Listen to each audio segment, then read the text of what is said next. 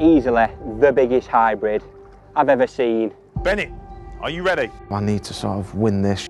I'm ready. Steve, are you ready? Beating Andy Bennett today would be massive for me. Born ready. I don't think I've ever seen one, let alone catch one. Wow. Five hours, two of the best in the business. All in! The last hour and a half, two hours, I think this match is going to be decided by camp. Come on, let's go find some koi. Is it all about size, or is that a worldie?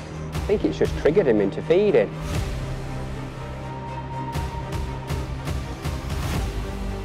Oh, fish. Mate, that's not a skipper, it's a bream. Come on. Bagger's primed that pole line and it's coming good.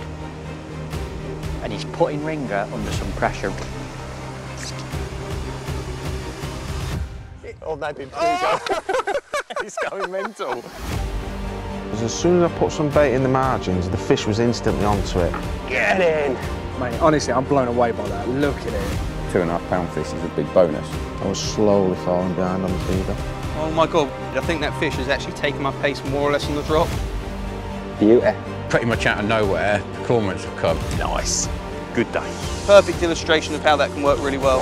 Bennett, I normally charge for lessons, but this one's for free. There we go. Like that. That's on.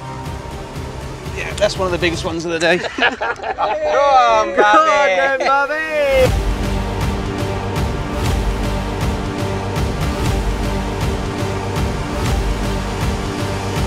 Good elf, son. Thank you, mate. Cheers. Steve. I